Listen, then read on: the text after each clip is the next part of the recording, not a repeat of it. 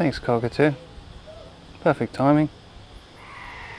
I was just going to show you around the garden a little bit. Um, put in these climbing frames, these supports, and they've really been great for the cucumbers. The cucumbers are producing really nicely now. There's a few of them that are definitely ready to pick. Um, some big ones like that one in there. There's another one up the back. Oh goodness me, in there somewhere. And then even uh, another one hanging over the back edge of just in there that's also ready to pick. So pick all those ones. I've got another vine growing down this way that I think's got another one that's ready to pick too.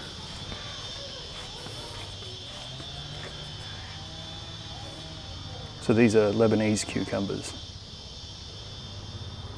I'm very impressed with the number of cucumbers that we're getting. Oh, there's another one down there too. Loads of cucumbers. This bed is getting quite full and I'm very, very excited to see jalapenos. Oh, that one's got a bit weird. What happened to that? Anyway, hopefully I get a good lot of these and I can actually make up a few jars of pickled jalapenos and possibly even a chili sauce or two. This jalapeno plant is getting nice and tall. I've got another one in here somewhere up the back. Hopefully it produces too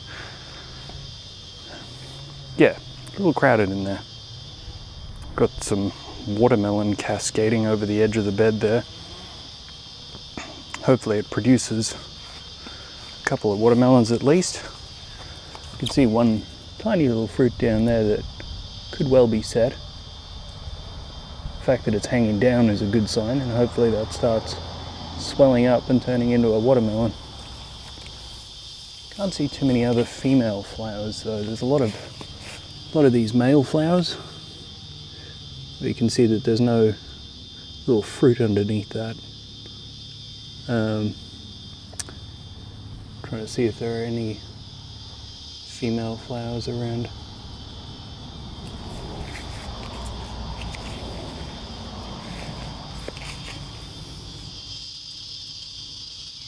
There's one. So underneath, and that one's already hopefully been fertilized. You can see that it has the little fruit underneath, whereas the male flowers just go up to the flower stem. You can see all the pollen inside there.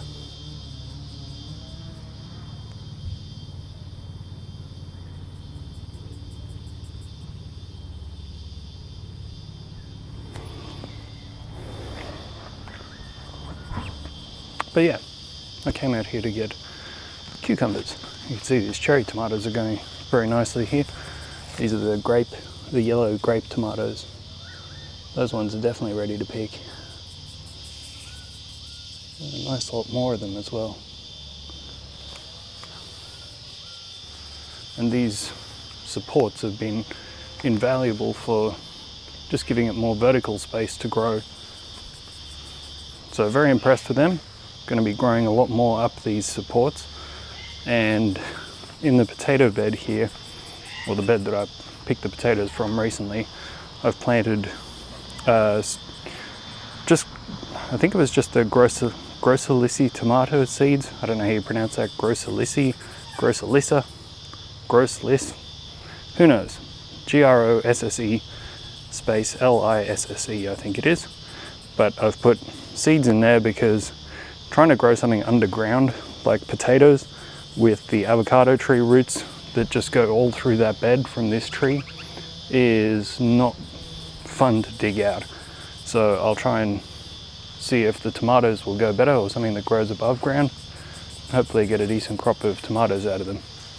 Got some Roma tomatoes on here.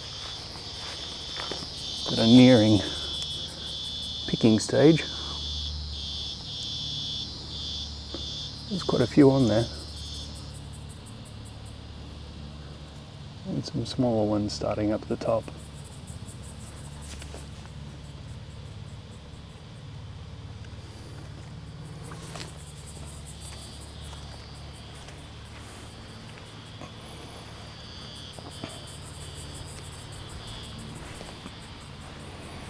Now I got very distracted and I was going to pick avocado, oh, not avocados, cucumbers.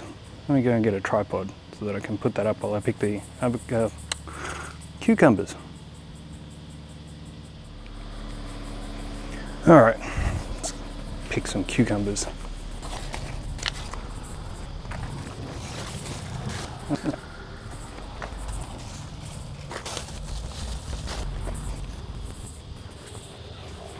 Not sure if those actually showed up on camera. Anyway, they're these. Got a bit of stuff on them from the bed. Wash that off. Three nice cucumbers.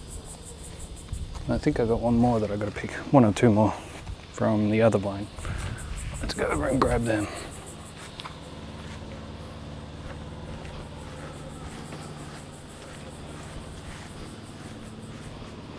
Somewhere in there.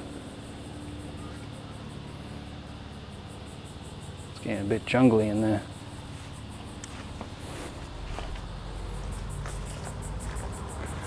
Alright, may as well get this one. Come here, you.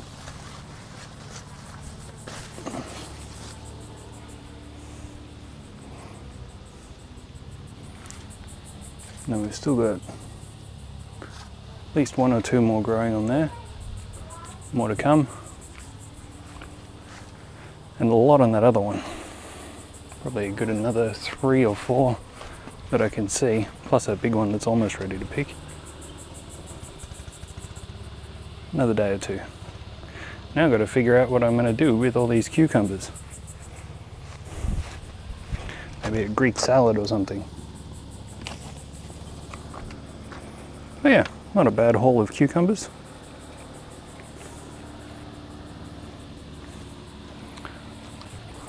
Alright, I'm gonna go rinse them off. They have these little tiny spines all over the fruit. I think they just fall off eventually. I wonder what that is. That's probably some slug or snail or something that's got at, got at the cucumbers.